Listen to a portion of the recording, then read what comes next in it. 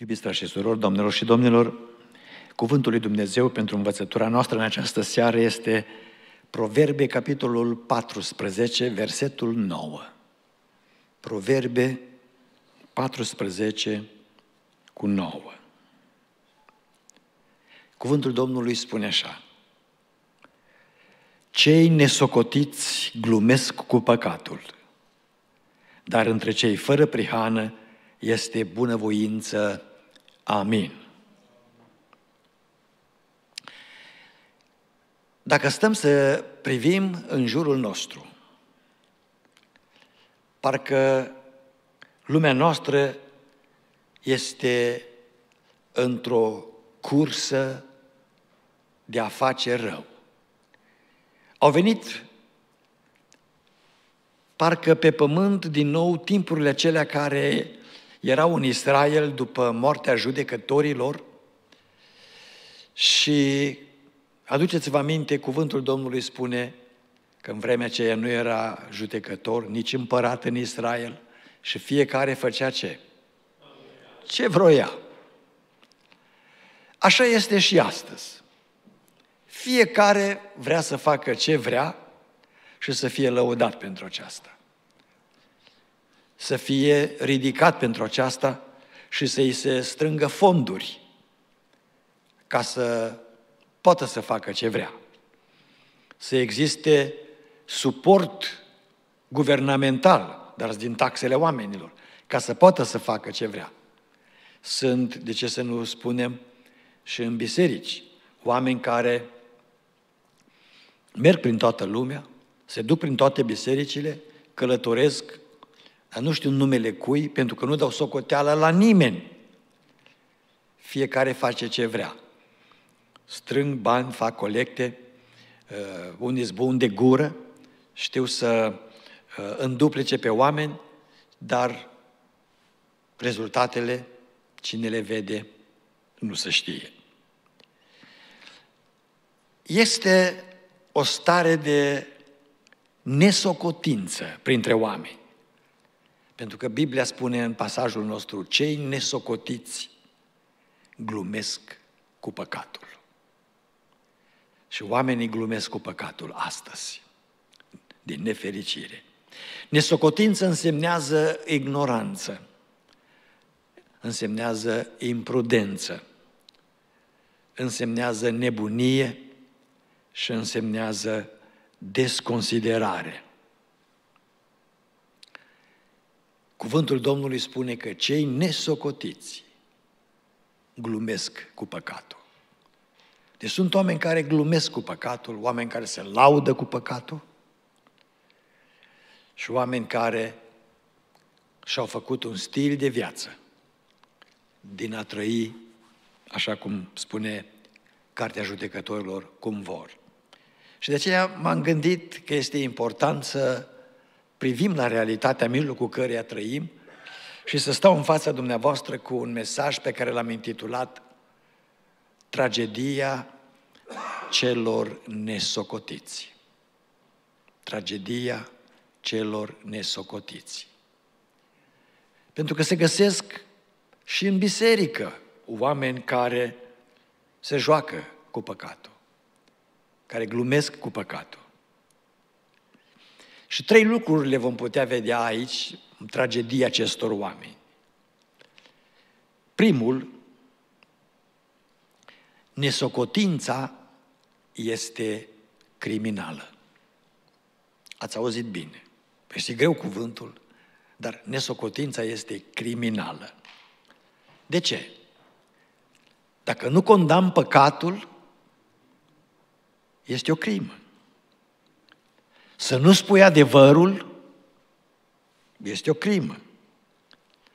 Apoi, să persecuți și să batjocorești pe cei ce trăiesc adevărul și iubesc pocăința, este o crimă. Să încurajezi în zilele de astăzi avortul, divorțul, homosexualismul, transgenderismul nu poate să fie altceva decât o crimă. Pentru că societatea nu merge spre bine. Dacă ar merge spre bine, ar fi altceva. Dar când prin aceste practici încurajate uh, societatea merge din rău în mai rău, însemnează că, așa cum este celebru Shakespeare în, în uh, una din piesele lui, în Hamlet, spunea ceva putred în Danemarca. E ceva putred în societatea noastră omenească. Familia este ignorată. Și aceasta este o crimă împotriva societății. Și când cei mari se adună, cum s-au adunat la Davos și acolo se adună în fiecare an, cei bogați și puternici care cred că uh, au mandat, nu știu din partea cui, să facă lumea după placul lor și după asemănarea lor, să nu uitați că una din afirmațiile lor, Eco 92, după placul lor este ca omenirea să fie redusă până în anul 2030, până în 2040 cel mai mult, dacă e posibil, până la 95%. 95% din 8 miliarde de oameni. Și în concluzia uh, hotărârilor ECO 92 scrie acolo, pentru acest scop, orice măsură potrivită este binevenită. Orice măsură. Să-i omor pe oameni. Cei nesocotiți glumesc cu păcatul.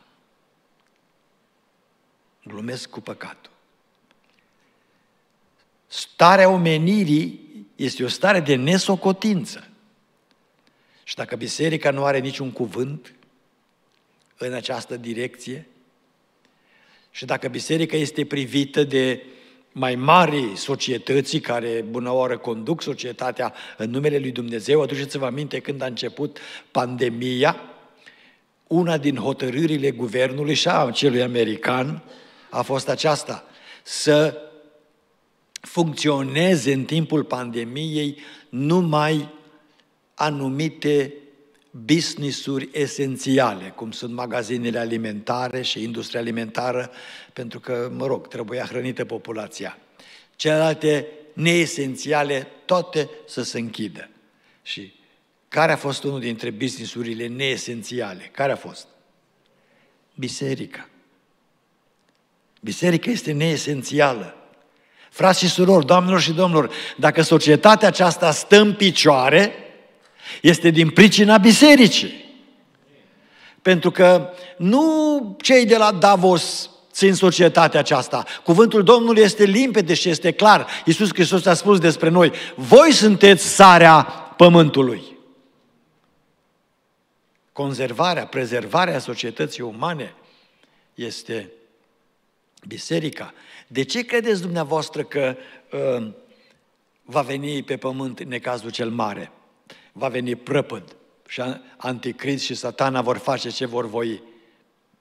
Pentru că biserica este luată din drumul lor. Și dacă ceea ce ține biserica, ă, lumea în picioare și încă în viață, este luată din mijlocul ei, ceea ce prezervează și condiționează societatea, sigur că va fi dezastru pe pământ. Nesocotința este, deci, în primul și în primul rând, criminală. În al doilea rând, nesocotința este condamnare. A glumi cu păcatul însemnează a condamna pe cei sfinți.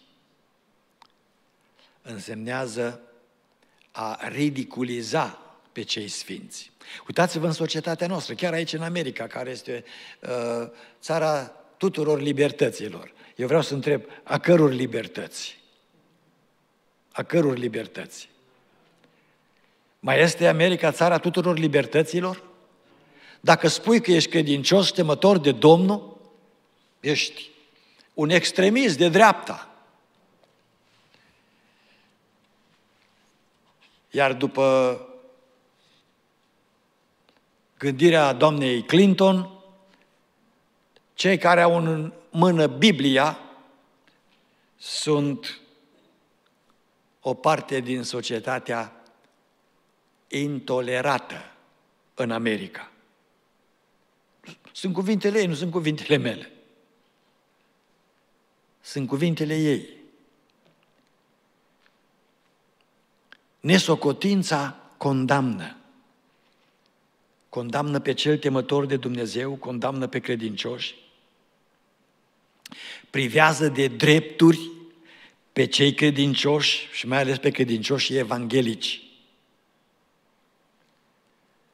Dar, frați și surori, doamnelor și domnilor, condamnând pocăința și condamnând Evanghelia, te condamni pe tine personal.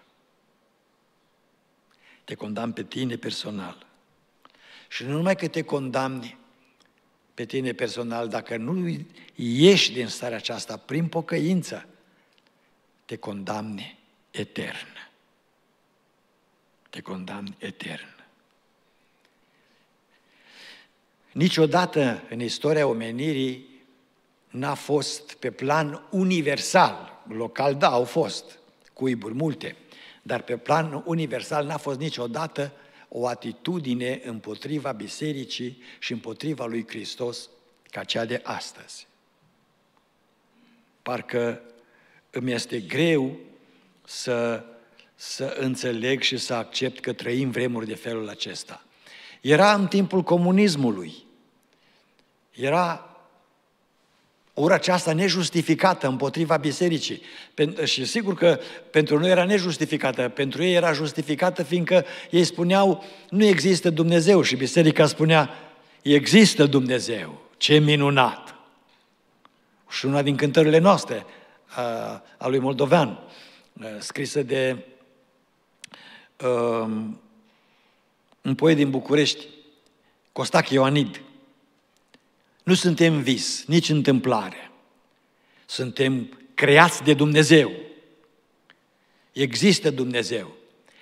Pentru ei, pentru comuniști, ziceai, pe ei justifică să urască biserica pentru că era singura opoziție vizibilă în societate socialistă și comunistă, care spunea altceva decât spunea uh,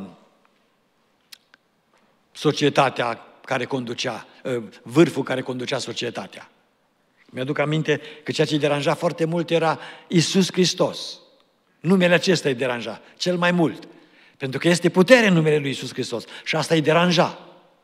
Am fost, prin Harul Domnului, invitat în ă, Bucovina la o evangelizare, în 1985 era, se întâmpla ce vă spun eu.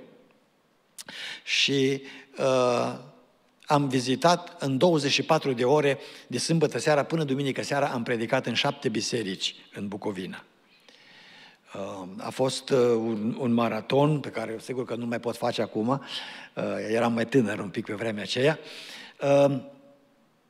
și m-am întors duminică noaptea, după ultimul serviciu care l-am avut la Rădăuți, am fugit, cineva m-a dus la Suceava și am luat trenul și am plecat la București mă întorceam spre casă, spre Ploiești. Dar în București trebuie să mă opresc ca să predau la seminar. Și apoi să mă duc la, acasă, la Ploiești, seara. Uh, și în timp ce predam, în jur de 10-11 dimineața, m-a strigat fratele Bochean. Lăzărică, lăzărică, vino la telefon. M-am dus la telefon că e ceva urgent. Care era urgența? La telefon era directorul general al Departamentului Cultelor.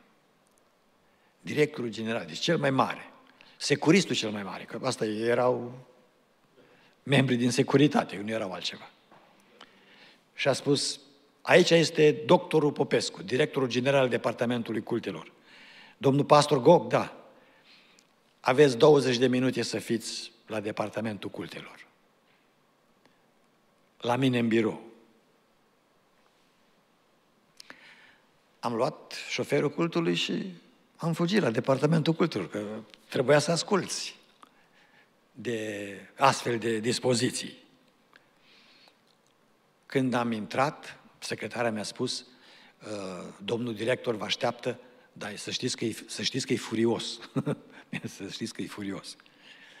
Când am intrat, pe masa lui erau cinci casete de, de casetofon.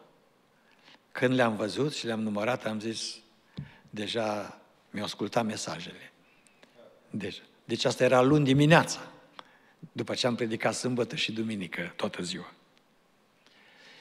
Și m-am dus, l-am salutat și mi-a zis, luați loc, domnul pastor, uh, sunt foarte supărat pe dumneavoastră, vreau să vă lăsați legitimația aici, de astăzi nu mai sunteți păstor în cultul penticostal.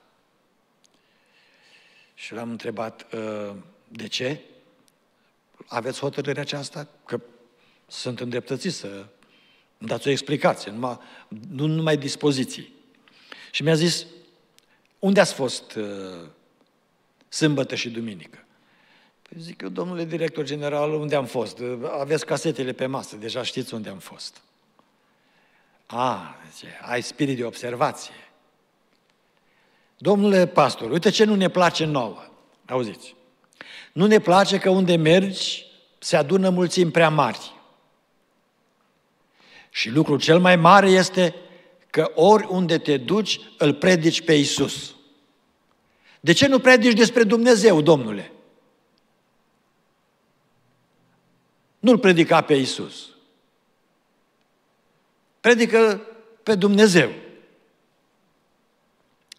Și am spus, domnule director general, Iisus Hristos este Dumnezeu. Dar dacă are nume, îi spunem pe nume. Este Iisus Hristos. De azi încolo nu mai predicați. Uh, îmi lăsați legiti- legitimația aici. Și am scos legitimația și am pus-o pe masă. Și am spus, aici este legit- legitimația mea, uh, domnule director general, uh, n-am nevoie de ea. Pe mine nu m-a chemat departamentul cultelor să predic, pe mine m-a chemat Dumnezeu să predic. Așa că voi predica câtă vreme mă ține El în viață și sunt liber. Când auzi răspunsul meu, l-a șocat, l-a deranjat, pentru că nu s-a așteptat un tânăr să-i răspundă uh, acestui fiu al satanei în felul acesta. Și mi-a zis, poate că m-am grăbit, să vă spun să-mi lăsați legitimația, puteți să o ridicați. Dar nu putem face noi o înțelegere să nu mai predicați în numele lui Isus? Și am spus, domnule director general, nu putem face înțelegere, pentru că eu am făcut înțelegerea aceasta cu el. Să predic în numele lui, nu cu dumneavoastră. S-a înfuriat, m-a scos afară din birou, mi-a zis, mergeți afară. A doua oară, dacă se întâmplă lucrul acesta, nu o să stăm de vorbă aici, în biroul acesta. O să stați de vorbă cu altcineva undeva la subsol. Îi deranja Iisus Hristos. Dar ăștia erau comuniști. Dar aici este țara tuturor libertăților. De ce îi deranjează Iisus Hristos în vremea noastră? Pentru că sunt niște nesocotiți care găsesc plăcere să glumească cu păcatul. Dar dacă pă- nesocotința este criminală, dacă nesocotința condamnă, în al treilea rând, nesocotința are consecințe, frați și surori, doamnelor și domnilor, are consecințe. Cine râde de păcat, râde de el însuși, de ea însăși. Cei pe care i-ai sedus să păcătuiască, aceștia te vor condamna în ziua judecății lui Dumnezeu, pentru că Domnul va cere viața lor din mâna ta. care i-ai făcut să păcătuiască.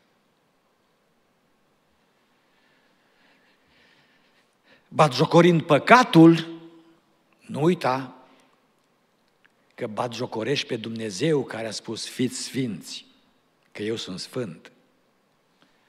Și dacă batjocorești pe Dumnezeu, aceasta are consecințe. Galaten 6 cu 7 trebuie să sune în urechile tuturor celor ce ne ascultă mesajul acesta. Nu vă înșelați singuri. Așa spune Sfântul Apostol Pavel. Nu vă înșelați. Dumnezeu nu se lasă să fie batjocorit. Dumnezeu. Ce seamănă omul, aceea va și se cera. Ai batjocorit păcatul, ai batjocorit pe Dumnezeu. Ai glumit cu păcatul, ai glumit împotriva lui Dumnezeu. Și dacă astăzi glumele cele mai gustate sunt glumele porcoase și împotriva lui Dumnezeu și a bisericii și a celor sfinți, cuvântul Domnului spune, Dumnezeu nu se lasă să fie batjocorit. Pentru că El cere să fim sfinți. Iar dacă Uh, cineva că se numește actor celebru sau sportiv celebru sau bogătaș celebru, îți spune că poți să trăiești și fără de Dumnezeu și poți să te ridici împotriva lui Dumnezeu, poți să-ți fii tu însuți Dumnezeu, Dumnezeu nu se intimidează de uh, glumeți de felul acesta, de nesocotiți de felul acesta și în ziua judecății Dumnezeu își va avea ultimul cuvânt și parcă mi-este greu să spun, dar acesta este adevărul. Sfârșitul batjocoritorilor, deci consecința cea mai mare, este la un loc cu satana și cu toți dracii lui. Matei 25 cu 41, cuvântul Domnului, dacă îl puneți pe ecran, sună tocmai în felul acesta. Matei 25 cu 41. Se va întoarce la ei, apoi va zice celor de la stânga lui, duceți-vă de la mine blestemaților în focul cel veșnic, care a fost pregătit pentru diavolul și îngerii lui. Nu pentru oameni, dar pentru că sunt nesocotiți, care glumesc cu păcatul. Domnul le-a făcut o secție și lor acolo, în iad, în iazul de foc și de pucioasă.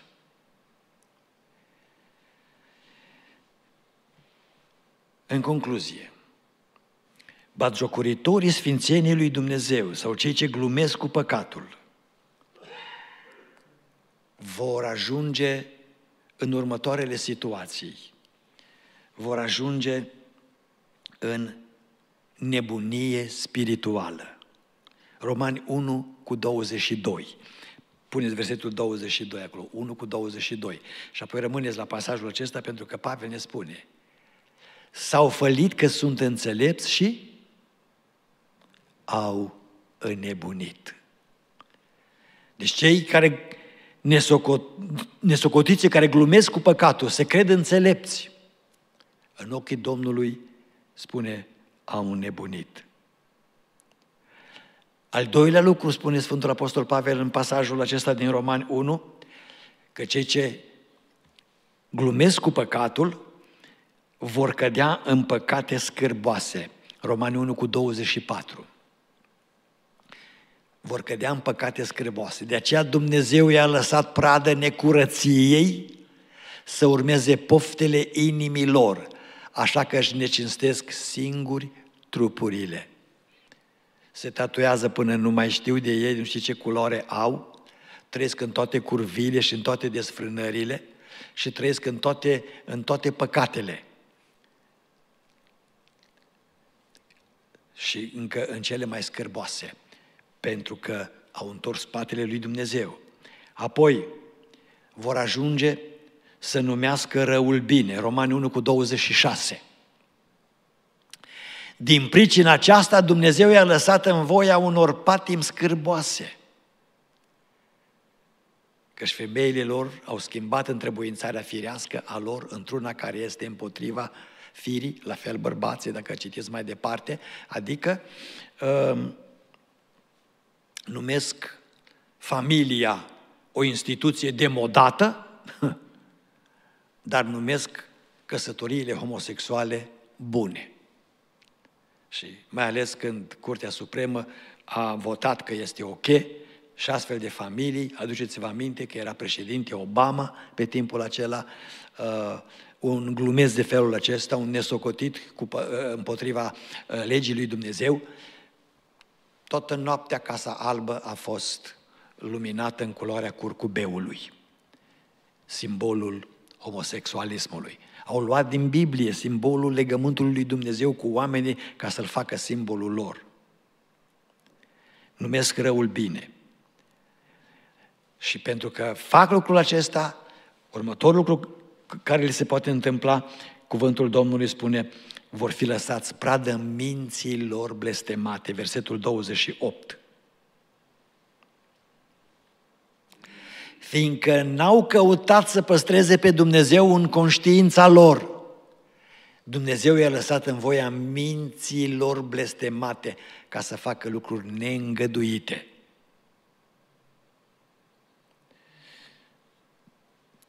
Care sunt lucrurile acestea neîngăduite? Degenerarea totală a societății. Versetele 29 la 32 în continuare. Astfel au ajuns plini de orice fel de nelejuire, de curvie, de viclenie, de lăcomie, de răutate, plin de pismă, de ucidere, de ceartă, de înșelăciune, de porniri răutăcioase, sunt șoptitori, bârfitori, urâtori de Dumnezeu, obraznici, trufași, lăudăroși, născocitori de rele, neascultători de părinți, au dosare din Rusia, fără pricepere, călcători de cuvânt, fără dragoste firească, neînduplecați, fără milă.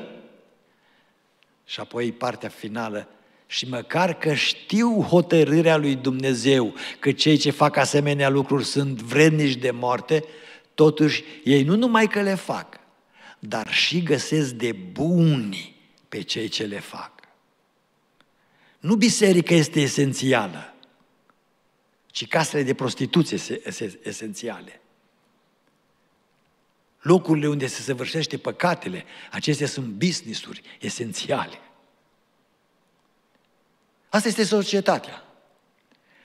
De aceea, în final, pentru astfel de atitudini față de Domnul, mai puneți un verset și cu aceasta încheiem, uh, lucrul cel mai mare care se poate întâmpla, cel mai greu,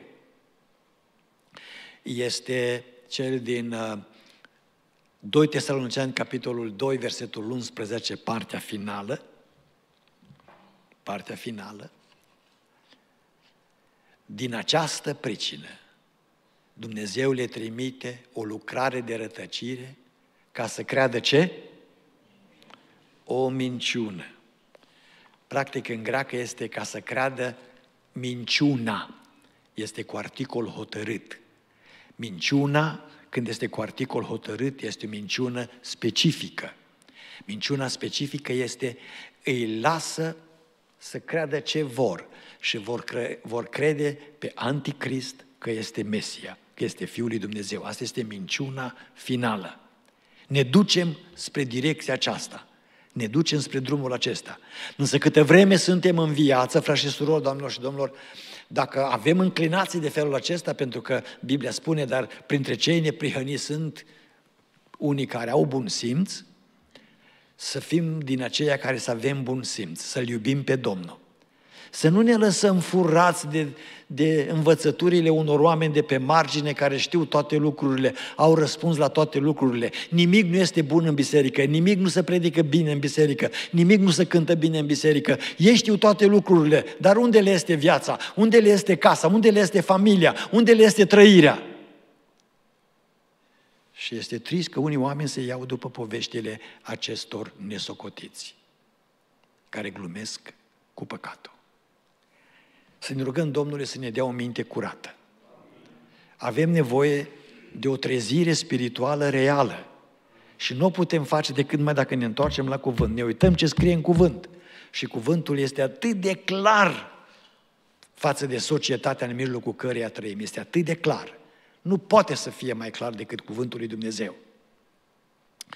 Și dacă vom cunoaște cuvântul, nu ne va păsa că ne critică cineva sau că ne înjosește cineva sau că ne crede neesențiali. Să ne bucurăm că încă putem să fim lumina și sarea pământului în societatea în care trăim. Este un har pe care puțini îl au, dar tu și cu mine care cunoaștem pe Domnul îl avem. Să ne folosim de harul acesta ca să putem să trezim și pe alții la mântuire. Amin. Ne ridicăm în picioare.